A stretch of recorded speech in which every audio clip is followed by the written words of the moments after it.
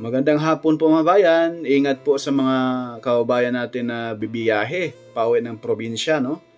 Dahil ngayon po ay Miyerkules Santo na po sa mga Katoliko, no? Ayan po mga bayan sa papunta dyan sa mismong Mount Makiling, yan na po ay dyan na po yan sa Calamba City, Laguna. Masisilayan natin mga bayan bandang kanan ay medyo makapal na po yung sasakyan, yung pila papuntang Kalamba. Ayan, masisilayan natin ang napakagandang view ng Mount Makiling, mga kabayan. Tingnan nyo naman. Balot na balot ng makapal na ulap yung Mount Makiling, no? Bandang kanan po mga kabayan, yan na po yung SLEX TR4, SLEX TR3, no? Yung ina-update natin. At kaliwa po, yan na po yung Pansol, Los Baños. Yan na po ay yung mga napakaraming hot spring dyan, mga kabayan. Sa area ng Los Baños, Pansol mga bayan. No? Ayan, yung mga sasakyan dyan, bandang kanan, ay usad pagong na. Itong bandang kaliwa, yan na ay paluwas po yan ng Maynila, mga kabayan. Galing po yan, yan dyan sa Kalamba, sa mga probinsya ng Batangas, San Pablo, at galing Mindanao, no? Ayan po, medyo maluwag yung paluwas ng Maynila. Ang masikip itong paluwas ng probinsya, itong bandang kanan. Medyo makapal-kapal na po ang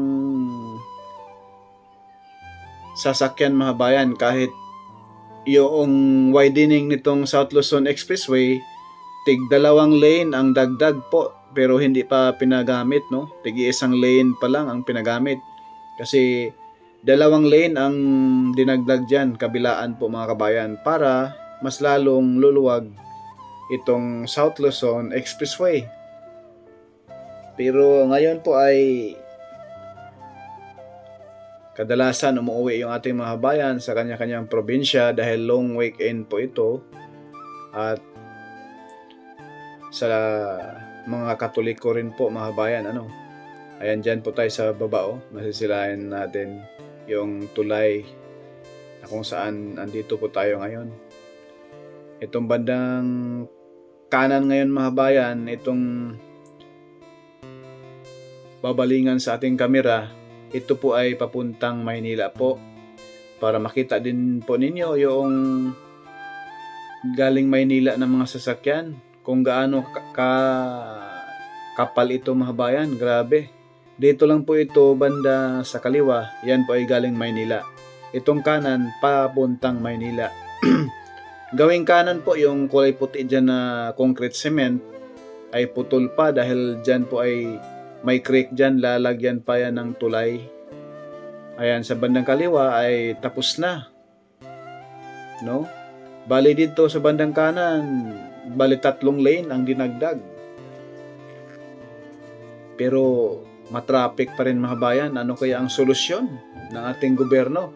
Kahit napakalapad na po itong mga expressway natin, maraming expressway, pero napaka-traffic pa rin, ano.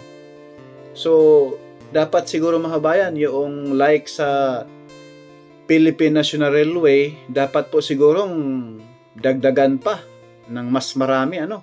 Kasi pag mayroong ganyan mga bayan, posible yung ating mga bayan pag lumuwas sa mga probinsya, kung may mga LRT or mga PNR na galing probinsya, posibleng hindi na sila magdala ng mga sasakyan mag-PNR na lang or mag-LRT, yan po siguro ang solusyon, no? Hindi po siguro solusyon yung hindi na, na ako magsalita. Baka ako po'y mapagalitan ng iba. Baka mayroon pong mga isip na hindi na nila gusto yung ating iniisip. Ano? Ayan po mga bayan, no?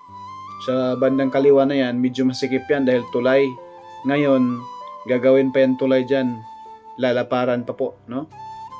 Kaya dyan sa unahan, papunt dyan sa malapit sa mismong Santa Rosa exit ay makapal-kapal ang sasakyan, no?